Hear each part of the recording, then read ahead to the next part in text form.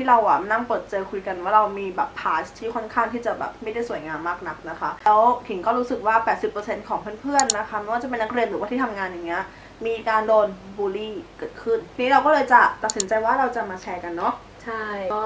หวังว่าเด็กๆน้องๆ หรือว่าใครที่โตกว่าเราหรือยังไงเราได้ดูกันอยู่ก็หวังว่าจะได้แบบมี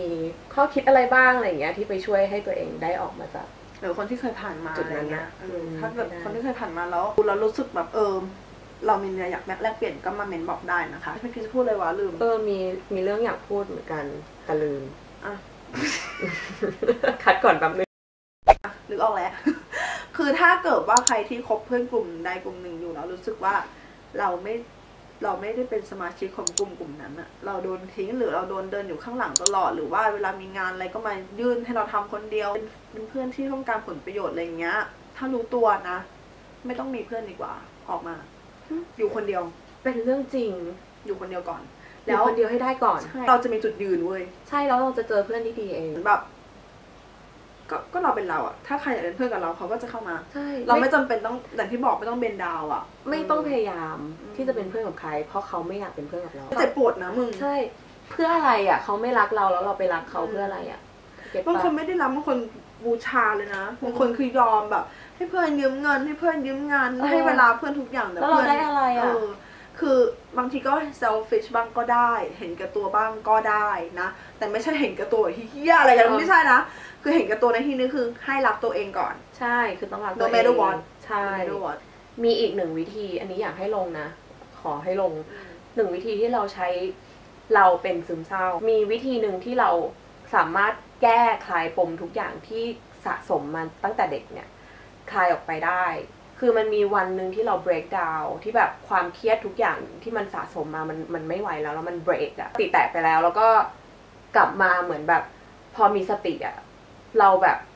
เอากระดาษขึ้นมาอย่างที่ขิงบอกอะเอากระดาษขึ้นมาเรานั่งเขียน แต่เราเขียนยังไงรู้ไหมเราเขียนถึงคนที่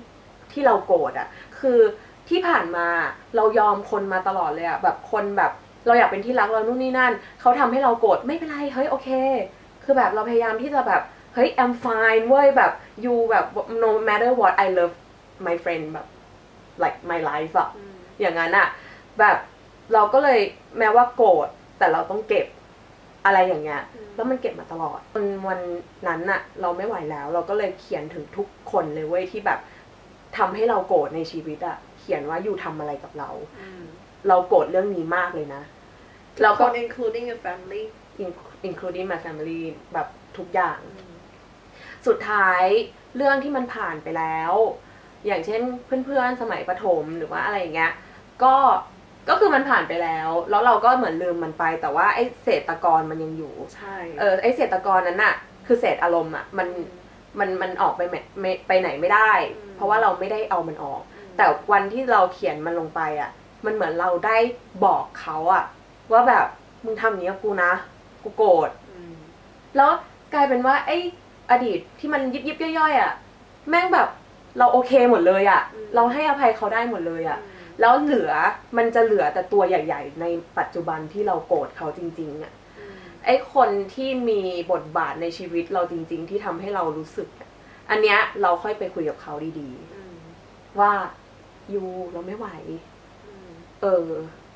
ไม่ไหวจริงๆขอเถอะ เพราะว่าเราอยาก move on ให้มันดีๆ ฟังอย่างน้อยเราได้พูด แล้วเขาได้ฟังด้วยใจ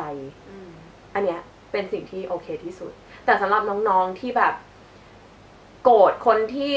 เขาไม่ฟังเราอะ อันเนี้ยเราแนะนำว่าอยู่แค่เขียน น้องๆ แค่เขียนไปก็พอ แค่เขียนกับตัวเอง จะเอาไปเผาก็ได้ หรือว่าจะเก็บไว้ก็ได้ ห้ามเขียนถึงแบบว่าสิ่งที่เราอยากจะเป็นนะ กูอยากจะ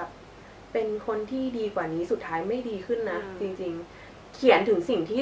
เราเก็บเอาไว้อะ อันนั้นแหละมันจะช่วย ใช่ อืม นะ แล้วมันจะทำให้เราแบบโล่งอืมพอโล่งปุ๊บเรารักตัวเองได้ง่ายขึ้น อืมมันเหมือนเป็นการคิดทบทวน แล้วก็หาทางออกให้กับตัวเองอืมอืมนะคะ ในการเขียน ก็เราก็ไม่ใช่นักจิตวิทยาเลยหรอก แต่เราอืม แค่เป็นคนที่เคยผ่านจุดๆนั้นมาแล้วก็อยากจะมาแชร์ว่าเรามีแบบ way to get out of it ยังไงใช่ นะอืมประมาณนี้เออรักตัวเองมากๆหาอะไรทำที่ตัวเองรักอืมแล้วก็สวยไปกับมันเราก็อยากเอาตัวเองไปเทียบไปเปรียบเทียบกับใครนะ ใช่ do your best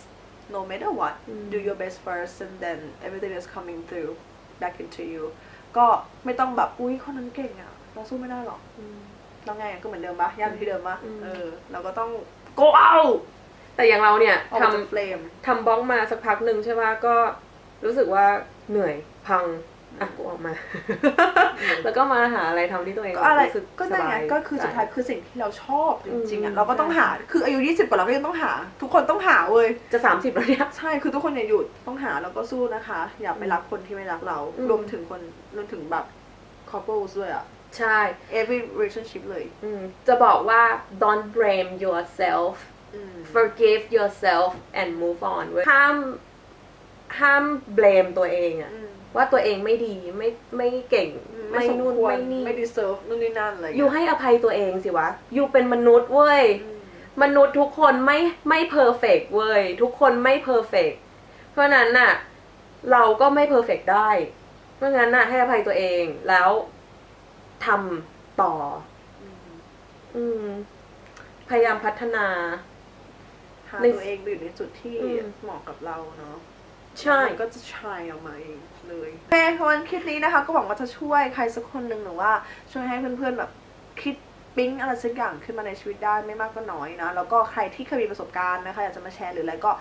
ทิ้งไว้ก็ได้นะคะได้เลยหรือว่าติชมอะไรก็ได้ เพราะว่าก็ยอมรับว่าเราไม่รู้หรอกเรื่องจิตวิทยาอะไรอะแต่เราแค่มีวิธีแบบนี้นะคะแล้วก็กดว่าวิธีคล้ายๆกันด้วยอะตลกเอออะตลกแล้วก็ก็คือแบบคนประเภทเดียวกันมันก็มาจะมาเจอกันอย่างนี้ยเนาะอืมเออประหลาดมากเลย ช่วงเนี้ยเราเจอคนประเภทเนี้ยเยอะมากเยอะมากเออประหลาดมากเป็นกฎแห่งแรงดึงดูดเราเชื่อเราจริงเป็นเรื่องจริง เออก็